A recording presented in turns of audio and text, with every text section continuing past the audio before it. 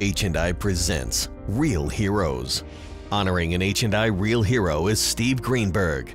If I had to put together a list of heroes for this pandemic, two of them would have to be Jeremy and Diana Zorek. Those two kids have been bringing pizzas to frontline healthcare workers throughout this pandemic.